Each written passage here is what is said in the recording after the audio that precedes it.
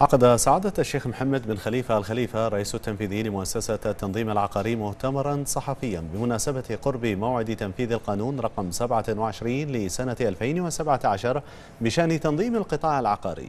لما لهذا القانون من أهمية بالغة في تعزيز أداء القطاع العقاري في البحرين الذي سيكون موعده تنفيذه في الأول من شهر مارس القادم.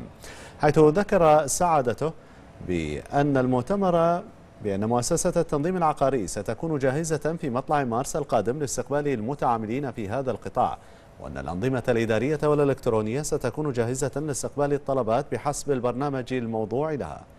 وأكد سعادته على دور اللجنة التنسيقية برئاسة سمو ولي العهد ودعمها ومتابعتها التي أسهمت في سرعة إصدار قانون تنظيم القطاع العقاري وتدشين مؤسسة التنظيم العقاري والتي جسدت رؤية واهتمام حضرة صاحب الجلالة الملك المفدى في تعزيز دور مختلف القطاعات غير النفطية وتعظيم مردودها بشكل مستدام في الاقتصاد الوطني بما يعود نفعها على الوطن والمواطن ومختلف أوجه التنمية في المملكة خاصة وأن القطاع العقاري يأتي ضمن المبادرات الحكومية ذات الأولوية التي لاقت استجابة مهمة من الحكومة الموقرة برئاسة سمو رئيس مجلس الوزراء.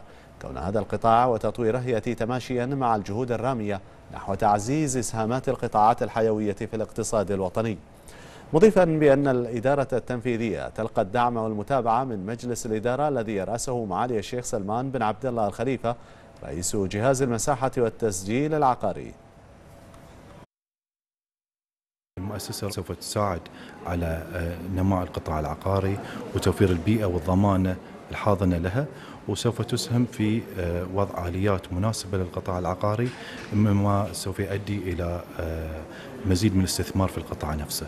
فإحنا ننظر بإيجابية وبتفاؤل للقطاع العقاري الفترة القادمة أن القطاع راح راح يكون قطاع محمي من جميع جوانب من حيث البيع الخارطة وهو من أهم الأشياء اللي نعمل عليها.